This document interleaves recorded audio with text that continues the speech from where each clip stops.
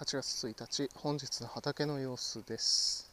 だいぶひまわりが綺麗に咲いてきてます。ブルーベリーですが今年はかなり粒が大きい状態です、えー、冬に剪定をして その結果が出ているというのがあるんですけどももう一つは土の状態ですね。このカラカラでサラサラの状態。これがかなりいいのかなという感じです。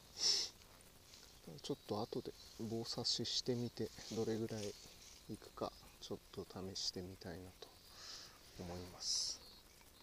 かなり大きな粒がありますね、うん、食べてみると味もなかなかいいです。えー、いちごを増やしてます。いちごの間にはトウモロコシがあったりします。カエルがいますねよああ 偶然ですけどカメラの上に乗っかっちゃいました。えー、いちごはどんどんランナーを伸ばしてます。調子がいいのとそうでないのとやっぱり病気のものもありますね。ただ割と順調に増えているような感じです。でいちごの間にモロッコインゲンなどが植わってたりします。こっちにはニラですね。もうとう立ちして花が咲いてます。えー、これは確かかぼちゃだったと思うんですけど成長が遅いですね、まあ、これからどんどん伸びるのかなと期待してます。で、えー、こちらが畝こちらの畝が、えー、今年作ったかなり深い高い畝ですね。で、えー、マルチの梨ありということで比較をしているという状況です。徐々に生え始めてますのがトウモロコシですね、まあ、雑草も生えてますけど。でこちら側もトウモロコシが生えてきてでこれは、えー、ついこの間植えたオクラです。ちょっとちゃんと定着活着したのか心配なところですけど一応今のところ枯れていないという状況です。で、えーと、こちらがつるむらさきうん大丈夫そうですね。発着はしたみたいです。で同じようにオクラと、えー、こっちにはピーマンナス、えー、ミニトマトアイコですね。だいぶ実がついてきました。これ特に芽かきなどしてないんでまあほっとくとジャングルな状態になるとは思います。で、えー、こちらがマルチをしてある方のアイコとナスとピーマン。ピーマンがちょっと若干枯れ気味大丈夫かなとちょっと心配してますここのねもともとニラが植えてあったところなんでこんな風にまだほっとくと生えてくれるという状況です。はい。で、えー、こちらも同じようにマルチをしてどうなるかと。いうのを見てます。今のところマルチのありなしで、えー、トウモロコシの差他の野菜の差というのはあまりないのかなという感じです。でこちらの方にもつるむらさきを植えてます。で、えー、こちらはちょっと上のというかマルチの仕方を変えてます、えー、向こうの方は普通に上にマルチをかけて穴を開けているんですがこちらに関しては、えー、マルチを左右にかけて上の上の面が開いているというような作り方をしています。でこちらにも同じようにトウモロコシを植えたりあと間にちょっと、えー、20日大根をまいてます。随分綺麗に発芽してきてますね。で、えーこちらの畝はですねえーっと夏用の早生美濃という大根を植えたんですけどまだ発芽してきてないようなこれはちょっとそうかな。でも、うん、まだちょっと発芽してない感じです。まああんまり発芽しないようだったら次は、えー桜島大根を巻こうと思ってます。えーでこっちの2本の畝はかなり早い段階に作った高畝です。で一応いちごも植えたりはしたんですがもうだいぶ枯れてきてるというような状況です。でトウモロコシはだいぶ育ってきてますね。こちらはかなりあの雑草が増えてきているので処分をしないといけないなというような状況です。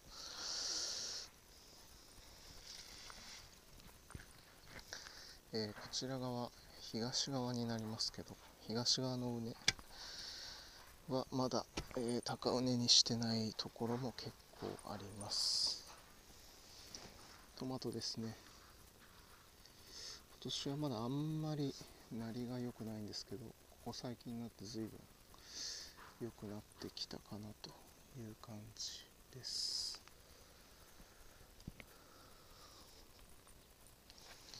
かなり大きなひまわり大きくなってるんですけどもともとなんで植えたのか確か、えーセシウムを吸い取らせるような目的だったような気がしますけど。随分綺麗に咲いてきたんでいっぱい種が取れるかなと思います。蜂が蜜を吸いに来てますね。美味しい蜜なんですかね。えー、っとこちらが大玉のトマトですね。ちょっとだいぶ株的には枯れてるような感じなんですけどまあ特に見割れもせずにあでもちょっと穴開いてますね。虫に食われてるな。まあもうそろそろ食べられるかなという状況です。で、えーこちらの畝はやはりイチゴを植え替えてます。どんどんランナーが増えてますけどちゃんと育つかどうかが心配ですね。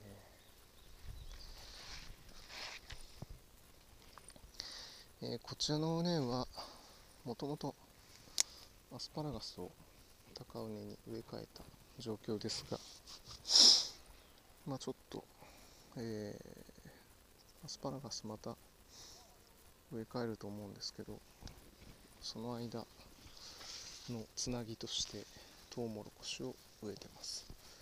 こちらの畝も同様ですね。トウモロコシまあいちごの間に植えてたりします。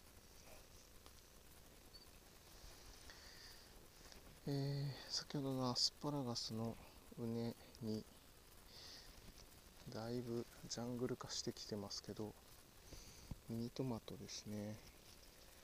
これは、えー、とさっきの向こうのミニトマトを、えー芽かきしたのをですね挿し木してこんなに大きくなってもう実をつけてるというような状況です。ミニトマトはこれからたくさん取れるかなと期待してますけどこっちにもトウモロコシがだいぶ大きくなってきてます。で、えーズッキーニですが、えー夏の初めはあまり元気がなかったんですけど徐々にでっかくなってきてますね。でもこれ丸ズッキーニじゃないような感じですね。長い昔まいたステラっていう品種が出てきてんじゃないかなというところです。えーこちらの畝はまだ高畝にしてないんですがきゅうりですね、えーまだ実をつけてませんが徐々に花が咲いてきてます。で、えーきゅうりの横にあるのがこちらも、ーズッキーニですね。これは丸ズッキーニですね。えっ、と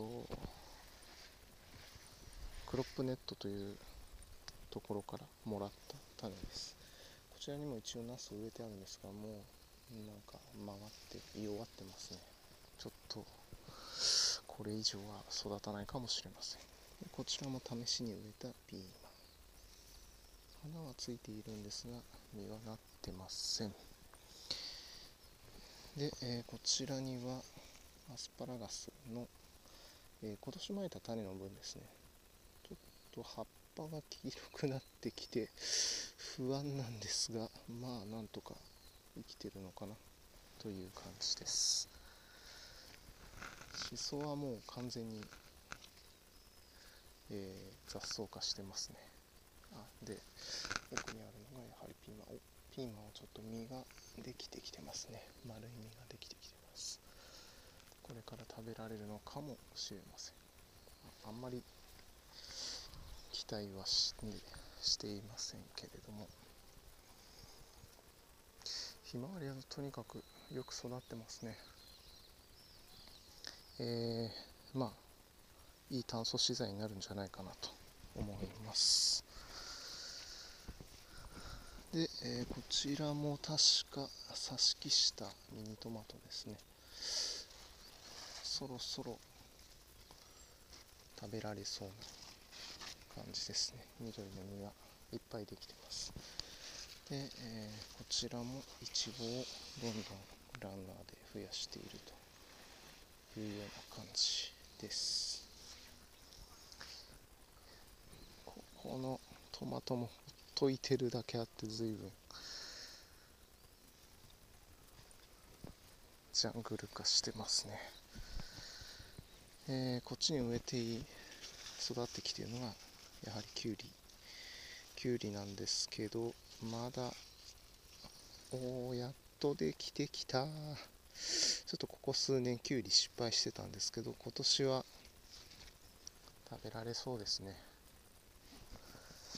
あのうちの子供らほぼカッパの集団なのできゅうり大好き。